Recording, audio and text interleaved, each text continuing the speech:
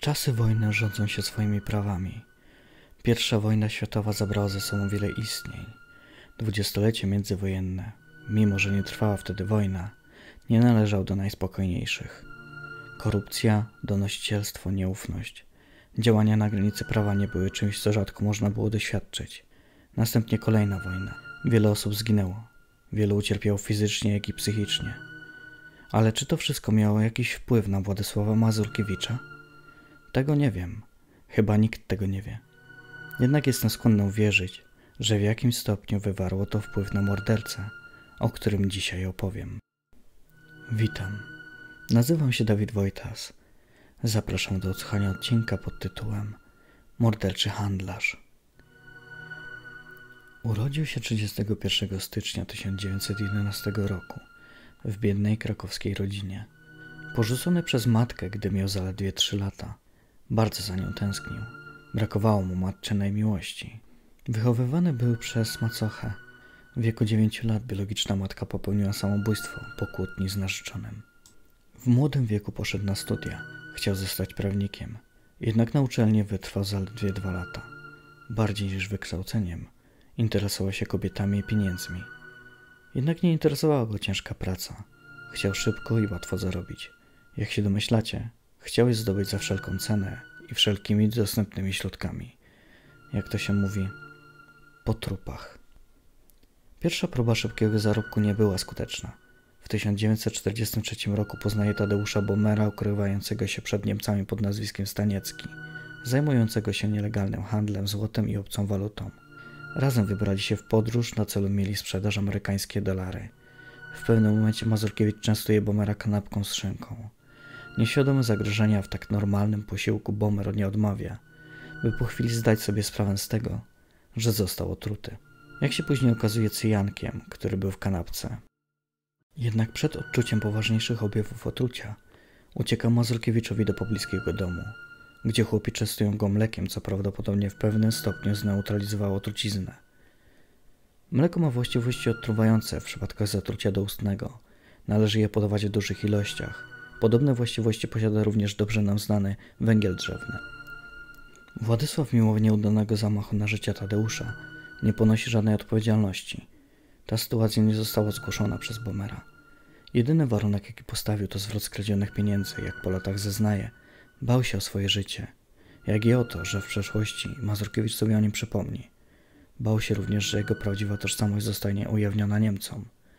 Mazurkiewicz prowadził z nimi interesy, więc istniało duże prawdopodobieństwo, że jeśli nie Władysław, tak Niemcy zakończą jego życie.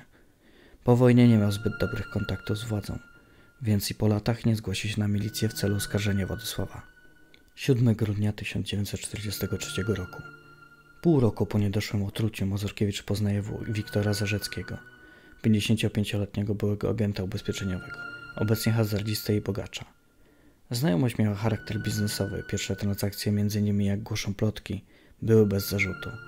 Po pewnym czasie Władysław wyszedł z propozycją sprzedaży 1200 dolarów za sporą sumę właścicielowi wapienika z. Jednak do transakcji nie doszło.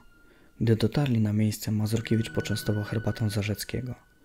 Znajdowała się w nim trucizna, która okazała się skuteczniejsza niż za pierwszym razem. Ciało ułożył na łódce i wypchnął wraz z prądem rzeki Wisły. Zwłoki nigdy nie zostały odnalezione. Mazurkiewicz upodobał sobie ofiary, których interesy graniczyły z literą prawa. Osoby współświadka, których nigdy by nie żałował. Ze względu na swoją nielegalną działalność istniała spora szansa, że nikt nie zgłosi zaginięć czy zgonów, ponieważ znając pochodzenie dochodów ofiary, będą siedzieć cicho dla własnego bezpieczeństwa. Z podobnego środowiska pochodzi kolejna ofiara. 17 lipca 1945 roku. Władysław Brylski przed wojną był ekspedytorem kuriera codziennego, natomiast po wojnie trudnił się handlem zagranicznymi walutami. Poznali się również dzięki interesom. Mazurkiewicz miał zakupić od Brylskiego sacharynę. Z uwagi na ciężki dostęp do cukru stała się pożądanym towarem.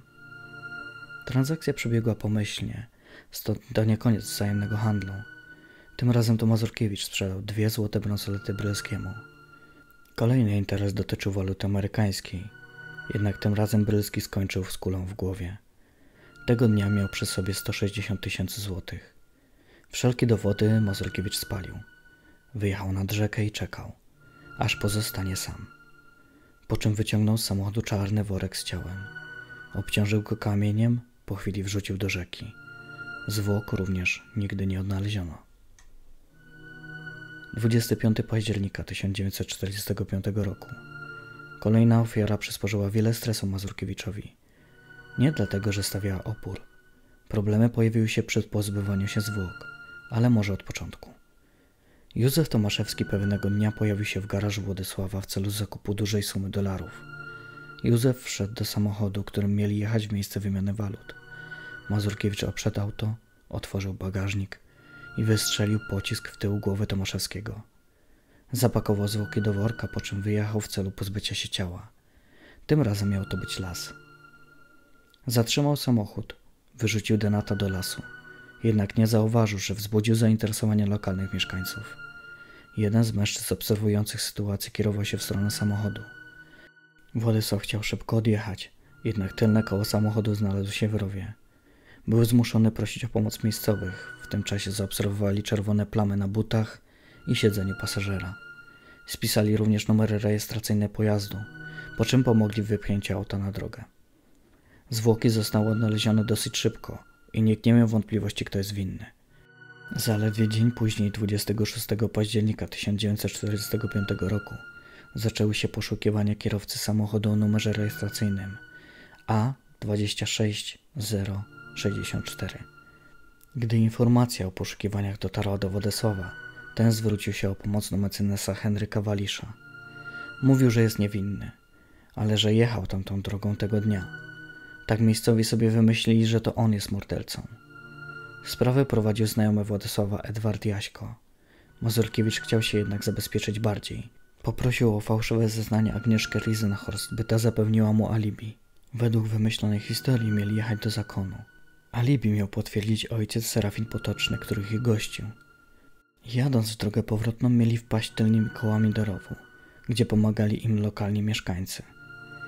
Finalnie śledztwo umorzono, a w aktach znajdowały się wpisy o identycznych samochodach i tych samych sytuacjach.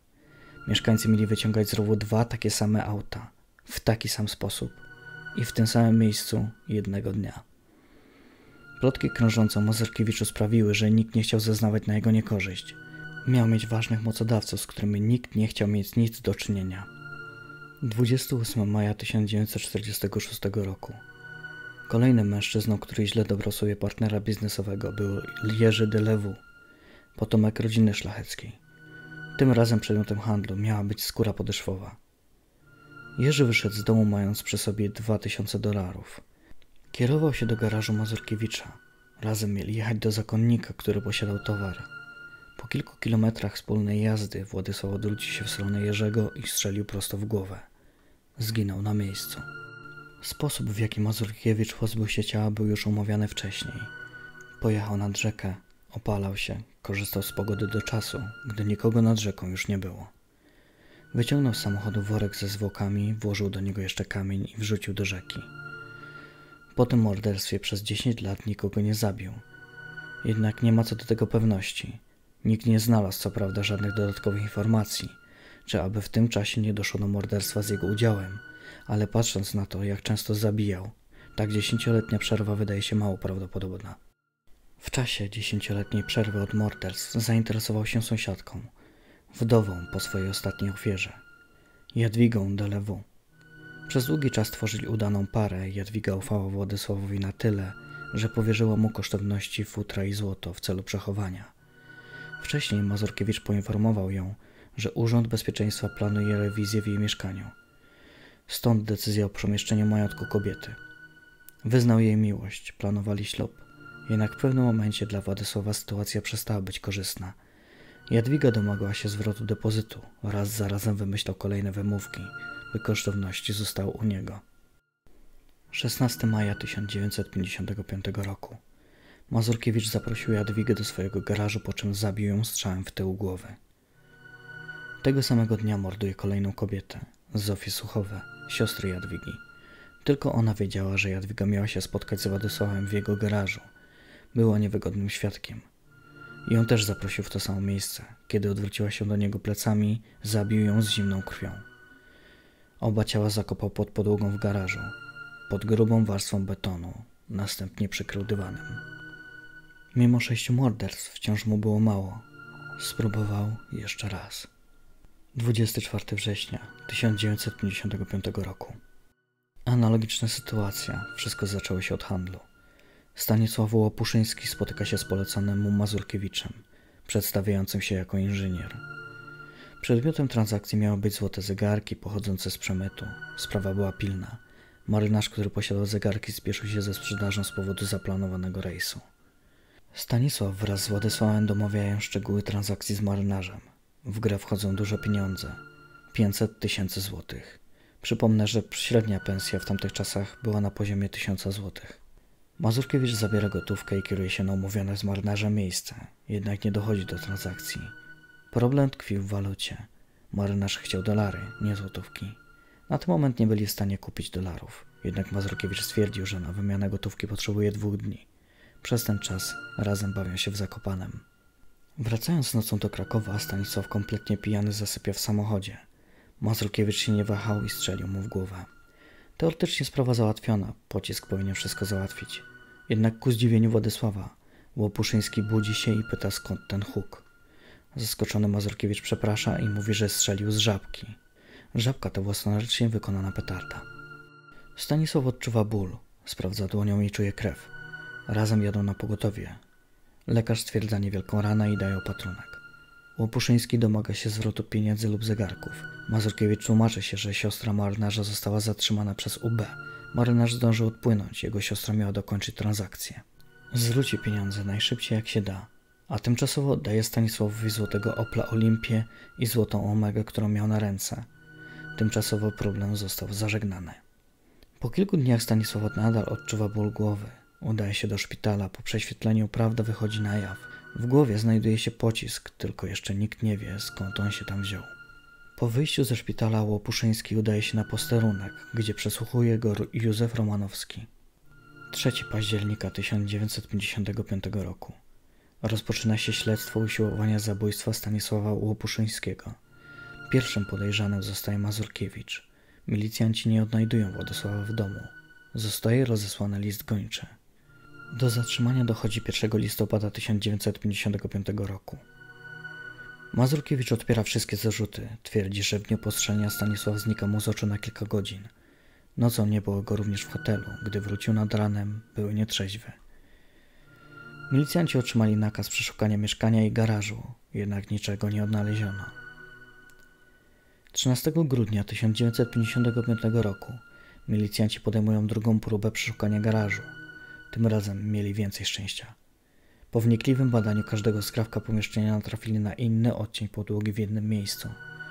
Po wykuciu warstwy betonu w oczy rzucają się zwłoki dwóch kobiet. To są siatki Mazurkiewicza. Władysław nie ma wyboru. Przyznaje się do morderstwa sióstr. Pojawiają się kolejne pytania o pozostałych zamordowanych mężczyzn. Władysław zaprzecza zarzutom. Do pewnego czasu. 24 marca 1956 roku. Milicjanci stawiają Mazurkiewicza pod ścianą. Grożą mu, że jeśli nie przyzna się do pozostałych zabójstw, aresztują jego schorowanego ojca. Od tego momentu Władysław dokładnie opisuje wszystkie morderstwa, jakie popełnił. Wyrok może być tylko jeden. Mazurkiewicz zostaje skazany na śmierć przez powieszenie. Egzekucja odbyła się 29 stycznia 1957 roku. Dziękuję za wysłuchanie odcinka. Zapraszam na kolejne, które niedługo pojawią się na kanale.